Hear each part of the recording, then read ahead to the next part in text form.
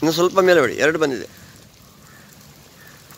ನೋಡಿ C we always should wash the plants foliage it should be dust free and disease free the pores of the stomata stomata pores of the plants will open out and give a uh, lovely oxygen uh, levels and water vapor and oxygen comes as a byproduct that's the reason why we need to enhance the plantation in across the globe